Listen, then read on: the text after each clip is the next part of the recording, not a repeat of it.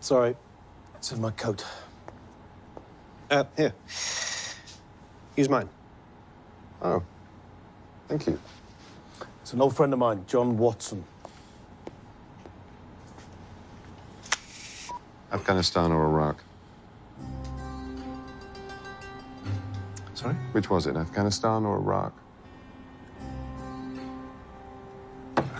Afghanistan. Sorry, how did you... Ah, Molly, coffee, thank you. What happened to the lipstick? It wasn't working for me. Really? I thought it was a big improvement. Mouth's too small now. Okay. How do you feel about the violin? Sorry, what? I play the violin when I'm thinking. Sometimes I don't talk for days on. And would that bother you? Potential flatmates should know the worst about each other.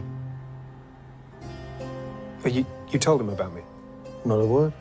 Then who said anything about flatmates? I did. Told Mike this morning that I must be a difficult man to find a flatmate for. Now here he is, just after lunch with an old friend, clearly just home from military service in Afghanistan. Wasn't a difficult leap. How did you know about Afghanistan? Got my eye on a nice little place in central London. Together we ought to be able to afford it. We'll meet there tomorrow evening, seven o'clock. Sorry, got a dash. I think I left my riding crop in the mortuary. Is that it? Is that what? We only just met. and We're going to go look at a flat. Problem?